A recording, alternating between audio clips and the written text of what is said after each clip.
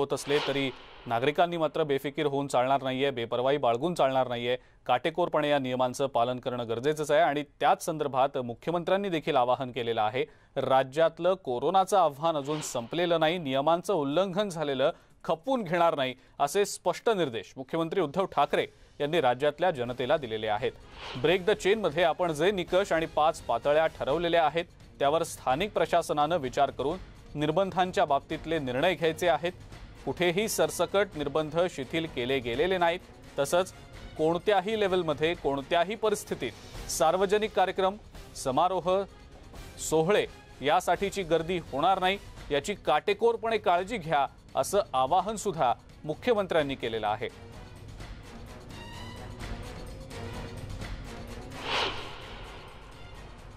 एका ब्रेकची वेळ झालेली आहे. बघत रहा न्यूज एटीन लोकमत.